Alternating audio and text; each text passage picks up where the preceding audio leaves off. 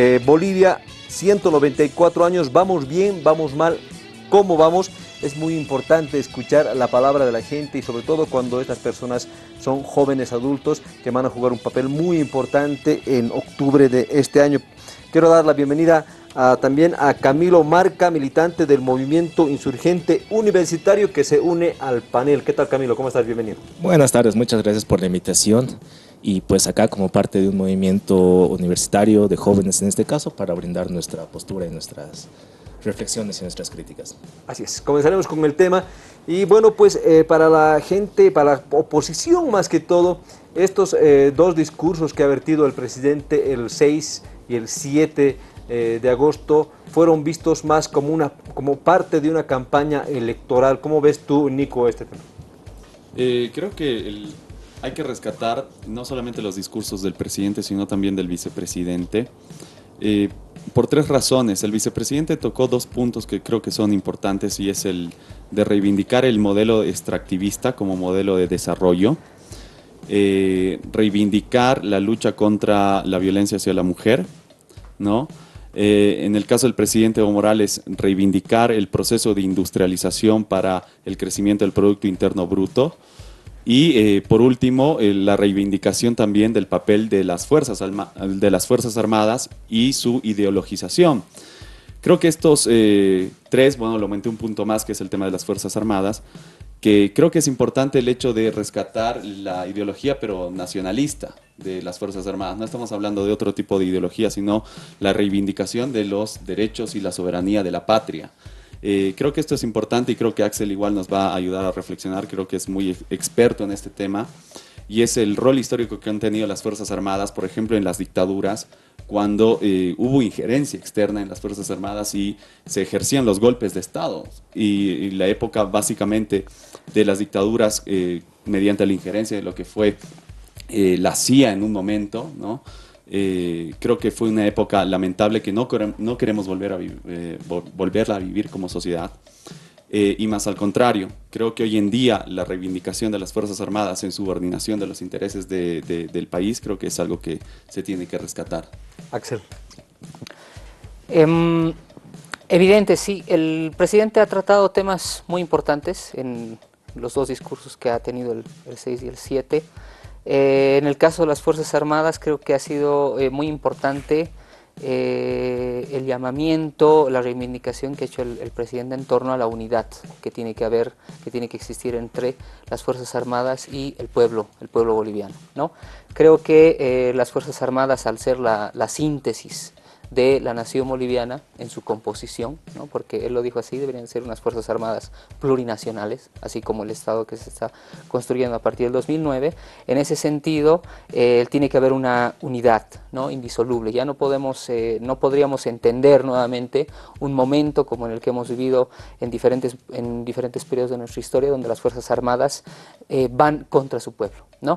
Que lamentablemente, producto, como decía Nicolás, producto de la injerencia extranjera, de potencias extranjeras, ha habido una desnaturalización del el rol de nuestras Fuerzas Armadas, sacándolas de su, eh, de su mandato, de su imperativo de seguridad externa y trasladarlas a, eh, a cumplir tareas de seguridad interna. ¿no?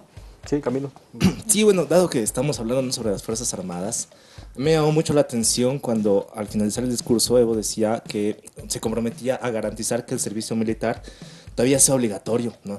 Y ahora que estamos recordando un poco esa, esa integración o esa unidad que ha habido entre el pueblo y las Fuerzas Armadas, eh, a mí me, me traía el recuerdo, ¿no? De cómo surge el servicio militar obligatorio. En realidad, la idea del, servicio militar obligatorio fue bastante colonial, ¿no? Porque fue con las sublevaciones de, Jesús de Machaca, en los territorios de Machaca, contra los indios sublevados, ¿no? Se, se, les, se les dice que estos tenían que incorporarse obligatoriamente al ejército con la idea de incorporarles toda esta mentalidad, eh, con esa nacionalidad de ese momento, ¿no? Si bien yo rescato la idea de los compañeros acá presentes de que es necesaria el ejercicio de la protección de la soberanía nacional, que hemos tenido un ejército que en ese sentido ha servido a intereses más imperialistas de Estados Unidos de los golpes de Estado, habría que analizar y cuestionar cómo, cómo planteamos esa unidad, ¿no? Porque yo creo que hoy en día se sigue manteniendo con esa lógica de, bueno, incorporamos al indígena, hoy en día es bien importante el servicio militar obligatorio para incorporarle una, a esta nacionalidad boliviana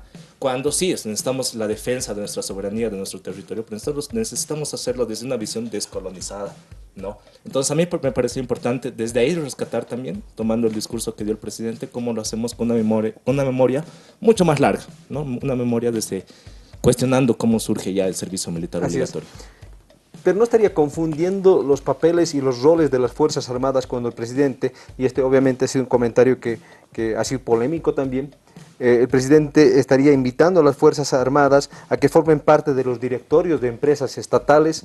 Eh, al respecto, ¿no se estaría confundiendo el rol de, las Fuerzas Armadas, eh, Nico? creo que históricamente Bolivia como nación ha tenido una fuerte participación de las Fuerzas Armadas dentro del Estado. ¿no?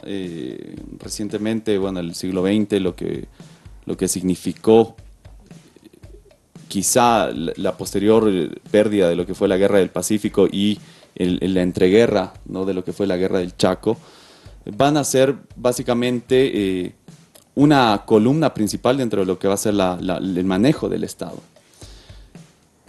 Evidentemente, no incluir a las Fuerzas Armadas dentro del poder político creo que se puede ser incluso un error táctico en cuanto a lo que es el ejercicio de soberanía nacional, ya que es un sector demasiado sensible, ¿no? No solamente en Bolivia, también puede pasar como sucedió en Argentina o como sucedió durante lo que fue la época del Plan Cóndor en toda América Latina. Creo que hacer partícipe a las Fuerzas Armadas dentro de la participación de las empresas públicas del Estado es al mismo tiempo una especie de praxis ideológica de lo que significa la nación y la patria. Es decir, ejercer los intereses del país no solamente como una idea, no solamente en nuestra bandera tricolor, sino también en el ejercicio material de lo que significa esta patria. Y este ejercicio material significa lo que son las empresas estratégicas estatales y lo que son las empresas nacionalizadas, ¿no? Y creo que en este sentido, hacer parte de las Fuerzas Armadas del ejercicio de este aparato estatal creo que es algo, creo que es algo sumamente importante para eh, al mismo tiempo hacer consciente esta, esta, este sector de nuestra sociedad de lo que significa su rol ¿no? de la construcción de este nuevo país. ¿no? Eh, respecto a lo que estaba diciendo Camilo, evidentemente del rol de las Fuerzas Armadas históricamente, por ejemplo el tema del servicio obligatorio, eh, obviamente uno puede estar en contra ¿no? de lo que es el servicio militar obligatorio, pero creo que eh, históricamente, incluso dentro del imaginario social, especialmente el imaginario social popular, eh, creo que las Fuerzas Armadas siguen siendo un eh, ejercicio de la nacionalidad, ¿no? Recordemos, quizá, bueno, y esto no solamente pasa en Bolivia, sino ha pasado históricamente en diferentes civilizaciones, el, el ingreso a la ciudadanía históricamente en Bolivia especialmente de los sectores indígenas, de los sectores campesinos que antes eran marginados, su forma de ingresar a la ciudadanía era a través de las Fuerzas Armadas, ¿no? Y muchas de estas familias que eran eh, hijos de campesinos, eh, que accedieron simbólicamente a la ciudadanía eh, a través del ejercicio de las Fuerzas Armadas o el servicio militar, eh, se sienten orgullosos. ¿no? perfecto.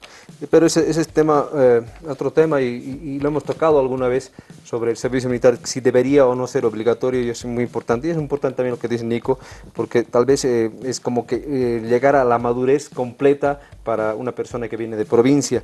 al respecto de, de, de, esta polémica que ha causado el tema de incorporar a las Fuerzas Armadas, Camilo, a las empresas estatales.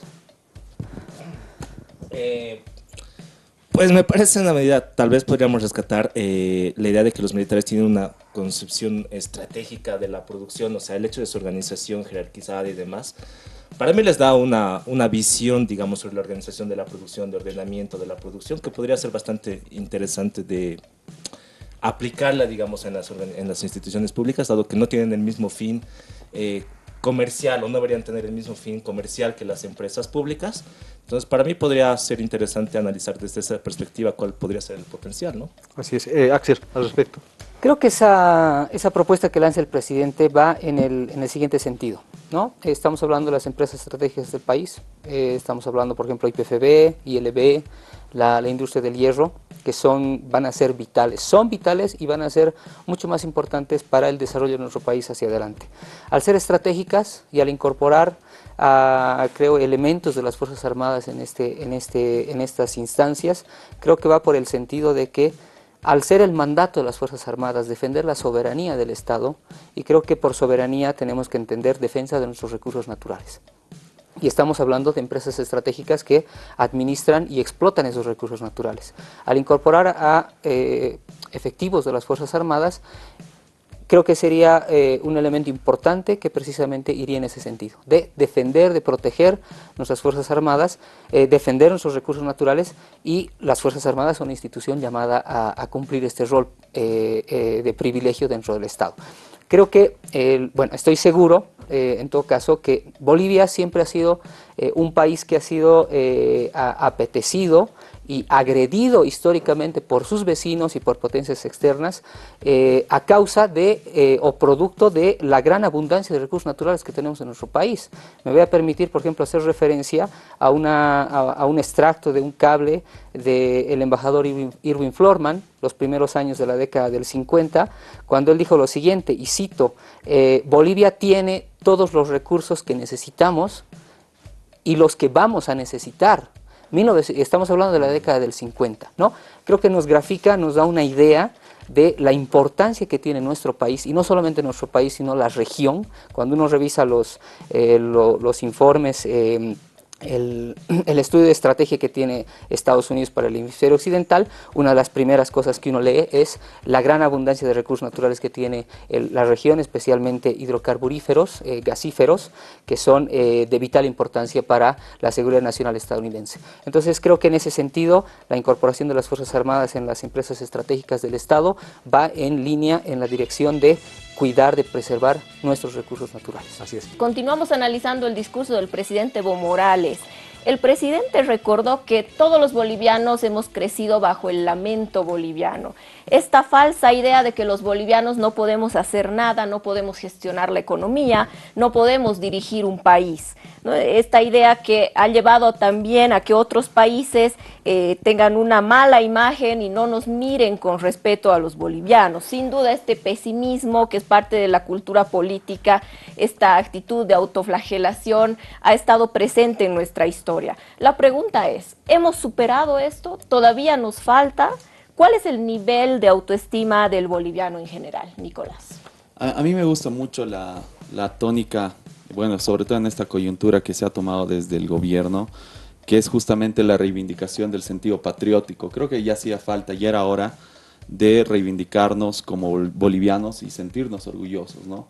Evidentemente la construcción del nuevo Estado plurinacional y el reconocimiento de las 36 naciones es algo que nos constituye y nos identifica, pero creo al mismo tiempo que es importante resaltar este sentimiento popular de lo nacional, ¿no? o lo nacional popular si se quiere. Y en ese sentido, el discurso del presidente cuando eh, habla sobre el lamento boliviano, que es un guiño a la canción de los enanitos verdes, ¿no? que dice, eh, es básicamente decir, bueno, basta de mirarnos como con esta mirada derrotista, ¿no?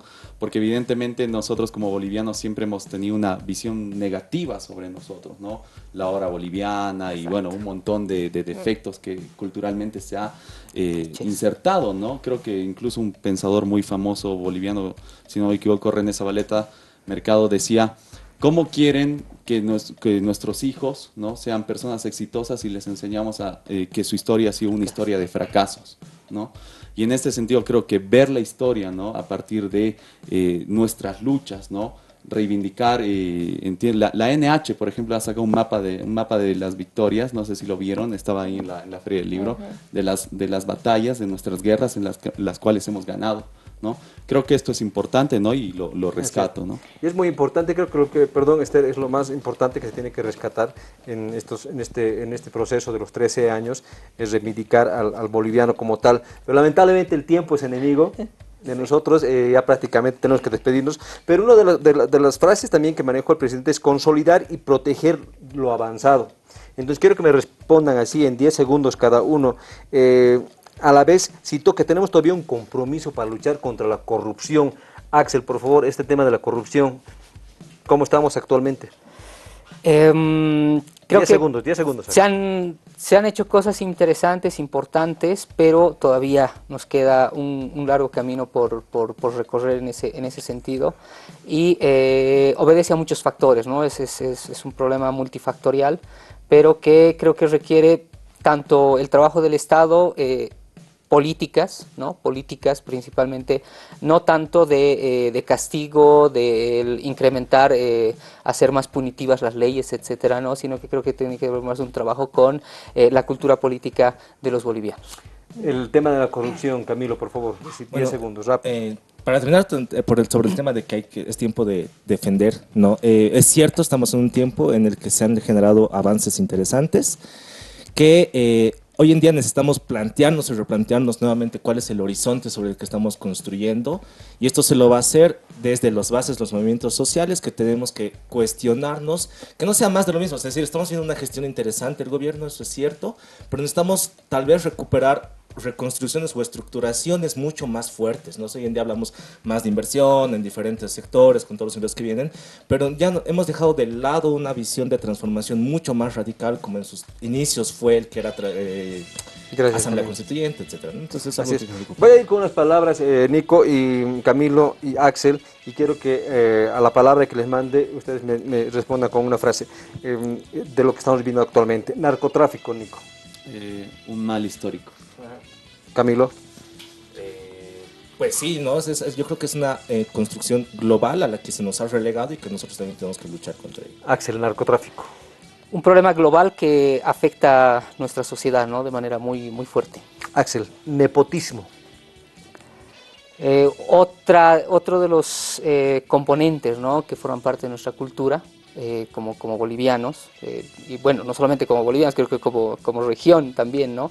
Que afecta a la construcción del Estado, ¿no? el desarrollo de nuestras instituciones. Camilo, nepotismo.